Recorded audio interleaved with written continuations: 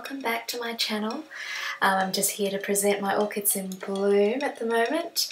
Most of them are in my little intro segment because I'm new to YouTube, uh, but we'll start with uh, this little Oncidium type. It's a Beallara Matthias Variation Glamour um, and I am in love with this orchid. It's got the most beautiful stunning petals and especially that lip with the yellow uh, center and the spotty detail and the frilly edge of the lip.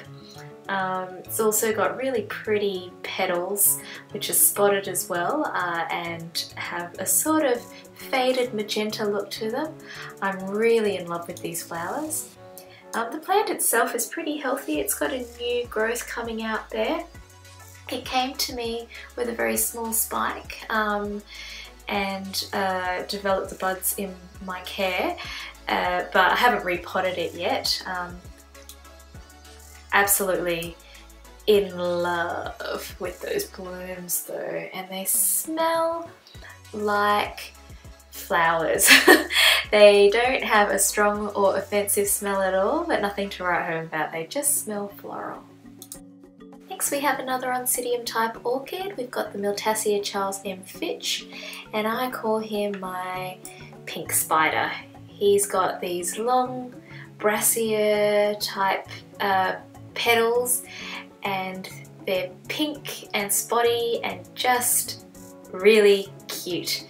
Um, and the lip sort of fades out into a light pink and it's also got a few little spots on it. Um, and the flowers are fragrant. They smell a lot like pepper and I'm not sure if it's a fragrance uh, that I love but it's certainly quite unique um, and the flowers are just so beautiful and big uh, that I'll forgive the fragrance. But I got it from an orchid show a couple of months ago. It had two big spikes on it which have fallen and this little one was developing at the time. It's quite a vigorous grower and quite a big plant actually. It's got three or four new growths at the moment. So I think when I go to repot it, I will probably split this orchid and give part of it to someone special. So yeah, um, a really nice plant if you ever come across it and like the look of uh, the flowers and like pepper, I guess. And here we have one of my favourites. It's my beautiful No ID Paphiopedilum and my very first Paphiopedilum to bloom. Uh, I, I just adore these flowers. Look at that massive pouch and it's so bulky and weird and the front of the petals are really shiny and reflective and that upper petal just has the most dramatic pattern. It's like this hat that flops over the pouch and it's got this beautiful magenta spotty pattern that runs up it. Um, the back of the flower and the ovary and the stalk are furry, like they feel fuzzy and bizarre and I just find it adorable. Look at all that fur in the middle. What the hell is that? It's so weird, but I absolutely love it. It's literally got little hairs all over it. Um, but yeah, um, I'm in love with the Paphiopedilums and I bought like three more last month. And my Oncidium Twinkle is finally in bloom. It first shot out a spike six months ago. So I have been waiting very patiently for six months for nine flower spikes to develop and they've been branching and growing and branching and growing and finally six months later it's in bloom and not even fully in bloom. Uh, was it worth it? Yes, but very, very frustrating as well. Um, the flowers themselves are fragrant. It is called the Fragrant Fantasy variety. And I'm not sure how to describe the smell, but it is uh, perfumey and sweet uh, and quite strong.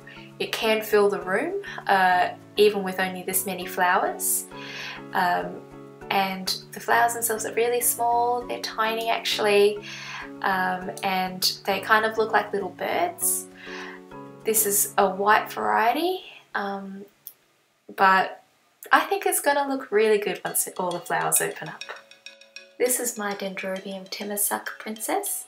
Um, it's a really simple but beautiful Phalaenopsis type dendrobium, really easy grower, um, not fussy at all, just needs um, typical dendrobium conditions, uh, nice and moist while growing, um, lots of warmth and lots of sun and it's done brilliantly and this is the first blooming for it and it's thrown out a good number of flowers and they're really vibrant pink with a little bit of a greenish tinge in the center um, and it's one of my favorites at the moment actually. It's really pretty um, and because it was just such a joy to grow I really love it.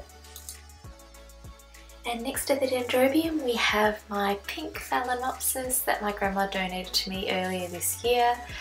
Um, she has the most ridiculous blooms. They are absolutely massive um, and they just get bigger as the rest of the spike opens up and you can see it spans almost the entire length of my hand. It's about 12 centimeters across, so nearly five inches. Um, and the inner petals really do look like a moth, like a butterfly. They're really big. Um, and all the petals glisten in the sun, they shimmer. The lip uh, has this yellow spotty center and it's got a darker sort of uh, lip that comes down and two little sort of antennae that uh, curl up. The plant itself was in fairly okay condition when I got it. I repotted it into leca and it's in a sort of semi-hydro setup but the leaves are really um, strong and well hydrated. So yeah it pretty much chucked out a spike as soon as I got it. Very very stunning orchid. Next we've got my little cattleya that I got the other week which is um, has opened two blooms now one to go. Uh, Hsin Buu Lady variation red beauty. Uh, and this is the first blooming for her um, so the but it was in bud during transport and you can see one of the flowers is opened up upside down. Don't know how that happened, but there you go, that one's upside down. Um, the other one's the right way up. It's a pretty uniform, bright pink red, um, so very dark pink, um, almost like a fuchsia type colour with a yellow um, central part of the frilly lip.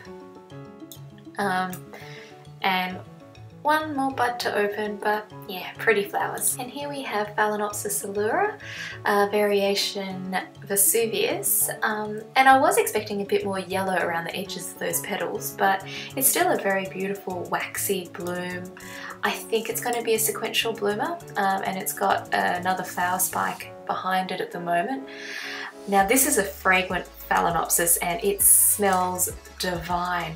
It changes scent. In the morning it's like this spicy grassy scent and then by early evening it's changed to something so much sweeter. It almost smells like um, a cinnamony sweet, like a cinnamon donut, but maybe not that sweet. It's really, really nice. Um, but yeah, hopefully I think uh, the flowers will be different in summer.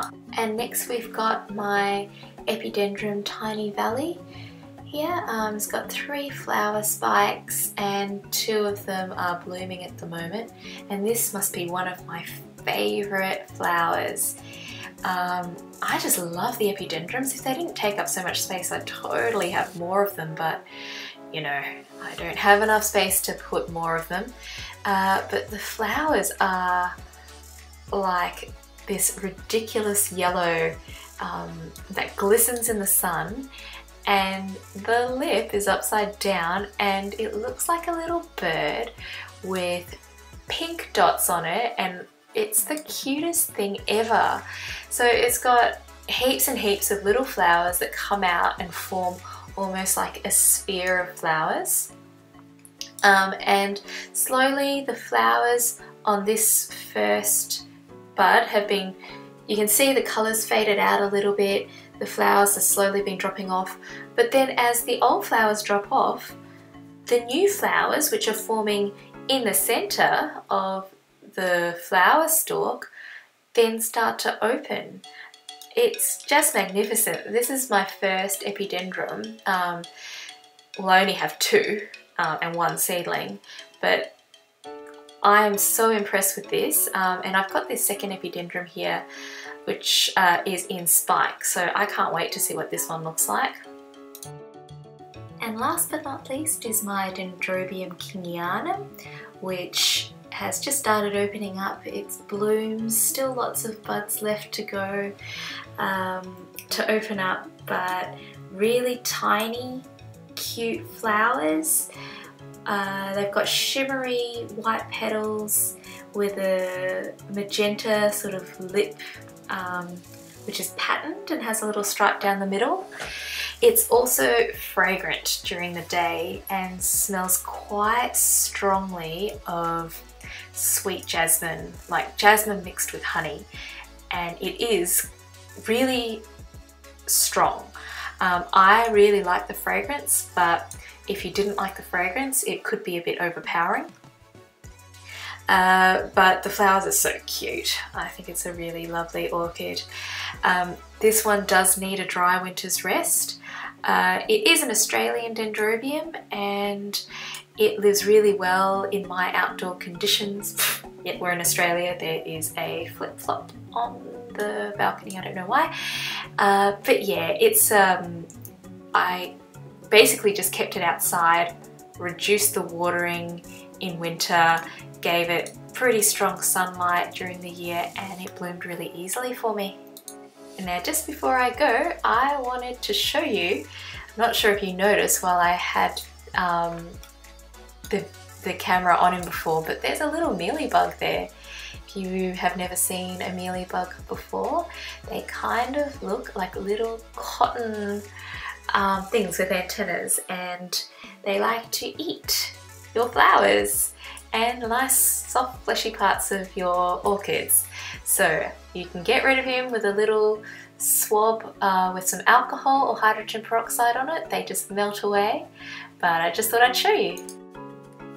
Okay guys, um, thanks for joining me today. I thought I'd just leave you here with a couple of my other orchids which are in bloom. This one's the Howeara Love Burst and it's the first flower spike for this little one. Um, but he is just a tiny little orchid. I'm in love with these little mini oncidiums. They're just so tough and flower so readily. Um, and the other one's my Cattleya intermedia, who um, I haven't seen the blooms for, so very excited about that one. But yeah, thanks for watching guys. I'll see you all next time. Bye!